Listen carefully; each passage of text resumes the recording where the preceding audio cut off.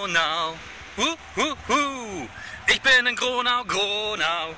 Hu, hu, hu. Ich bin in Gronau. Hey, was geht ab?